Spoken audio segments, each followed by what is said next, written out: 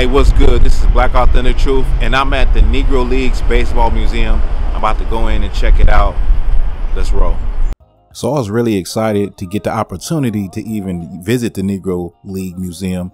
Um, it's something that I really enjoy, something that I appreciated. Um, and as you can see, it was a lot of documentation, a lot of pictures in history. It really goes in depth uh, in the history, so you can really get an idea. It has plenty of documentation and uh, you know, um, captions, give you the accurate information, and even has a timeline, which is really cool. Something that I really, you know, like. You can get a, a real bigger view of what was going on, what was happening, because a lot of people don't know about the Negro Leagues, right? and look at here, you got the socks. They showing you the socks with the um the different shoes that the the ball players wore.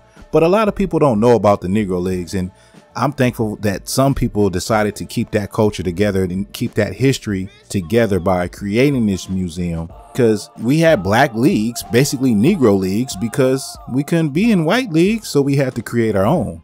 And so that's what they did. They created their own and they did a damn good job at it. They, you know, they were prosperous to the to the point where white owners from from ball teams started to come to the Negro leagues and look at the star players, man, and want to draft them into the American League, right? And so, as you can see, man, we we was doing the damn thing. We was really doing it, and um, that's something that we have to instill in each other. Is to love your history. Is to want to learn your history, and you know, want to know what happened, right? Want to know, you know, how how how did your foreparents survive in America? You know, this is Rube Foster. He was the the um, National Negro Leagues ambassador, or what would you call the executive, and basically like a, a, a commissioner, right? They say they say he's probably one of the best to ever do it, and we're talking about all, all leagues, right? And he he came from a he, he was a pitcher first, and he rose through the ranks, and and became what what would you what you would call today as a commissioner. Um, so yeah, man, D- Detroit Stars, uh, Chicago Giants. You know what I mean? You had all kind of teams, man. It'd be dope if somebody came out Indianapolis ABCs. It'd be dope if somebody came out with the, with, with some jerseys, man. I, I, think somebody does make jerseys, but see, it's, it's it's a real museum. It has, you know, things from the past, artifacts um, from that time period. Uh, it was really cool, really really cool. I really liked it. Um, like I said, it is very meticulous in all of their documentation and captions and, you know, giving you all the information, all the teams. Um, and you know, it was hard sometimes, man. This we're talking about a time when it was, you know, all out racism. Like racism does exist still today, but it's covert racism, right? They don't like to show the racism, but definitely this was a time when, you know, they're playing on these teams while their brothers are still being lynched, you know what I mean, right around the corner. So this was not an easy time, you know what I mean, for nobody that was involved, right? But our backs are always against the wall and we we always come through, you know, as black people, you know what I mean? We've always, you know, came from the bottom up. Like a typical living room set, take you back to that era, that nostalgic feeling of you know what I mean? Being in that time period, right? The, the the way the museum is set up is real nice. You know what I'm saying? I like the the low lighting. Um, definitely is something that if you're in town, if you're around, you should definitely go and visit the Negro League Museum. You should definitely go. Um, if you're a baseball fan, you definitely should go, right? You know what I mean? We we really was doing it right here. They had the circus uh, baseball, basically clown teams, kind of like Harlem Globetrotters, like, you know, a team that would do things to make people laugh, you know. And that came out of the Negro Leagues. That was just a added um, entertainment element to the Negro Leagues. You see, these brothers was on, man. Brothers was was strong, black and proud. You know what I mean? Doing their thing. Ray Dandridge. He played eight seasons in Mexico and Cuba. Damn. So you had black and brown teams. You had, you know, um, Cubans and, and Mexicans and, and, and black men together on a team, living together, right? Holding it down, you know what I mean? Doing their thing on the team.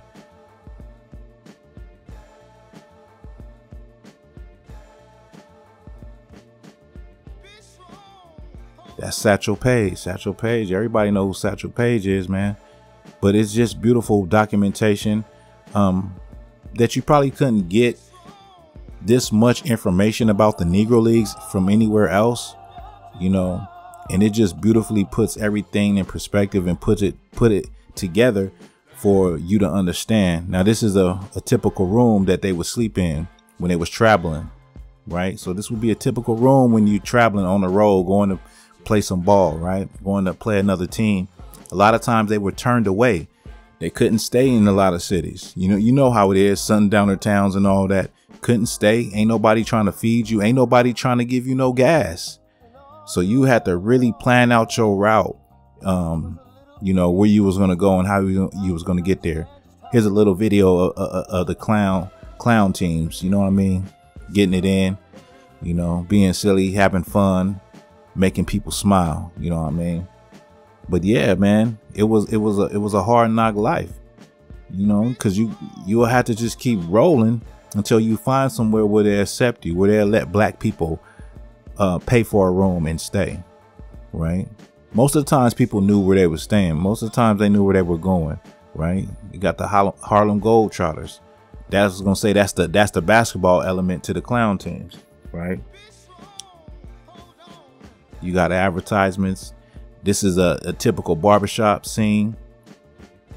Just take you back to that time period. Right? Kansas City.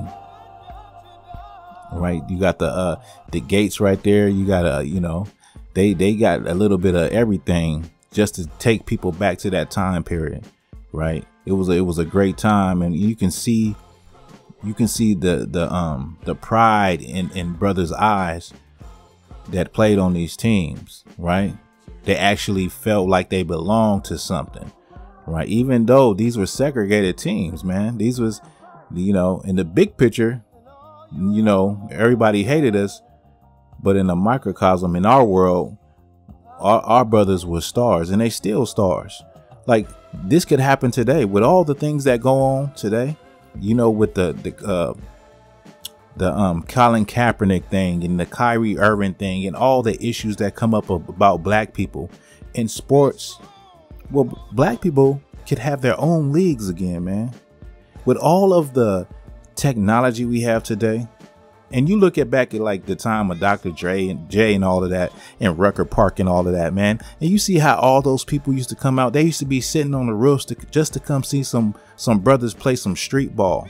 Now you think that people wouldn't do that the same for these people that are for these brothers and sisters that are stars, that are stars in in in, in these American leagues, right? Stars making millions and billions of dollars for these corporations and these teams but imagine if all that money could be funneled into the black community. Look, you even had sisters doing their thing. Mamie Johnson, Connie Morgan, Toni Stone, right?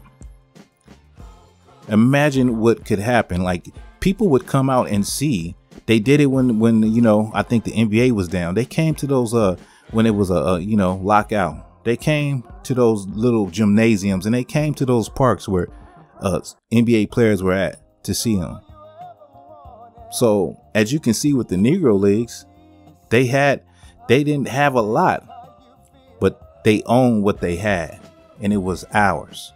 And the same thing can happen today.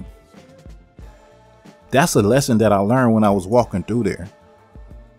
That all of this talent and ability that we have, but it gets taken away from us and it goes to someone else when all of that revenue can be going into the black community for programs, after school programs to help us, right?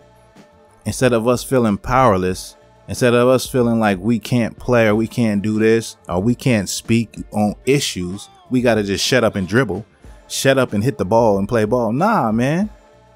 Not if we got our own Negro leagues like our brothers and sisters had back in the day, right? So, yeah, man, if you have a chance, you in Kansas City, Missouri, man, go and check out the Negro League Museum on 18th and Vine, man. You like this video, you you know, you like what I push, black issues, black problems, past, present, and future, black authentic truth. Make sure you subscribe, make sure you share my video, man. And with that, this is Black Authentic Truth. It just wouldn't let me move on.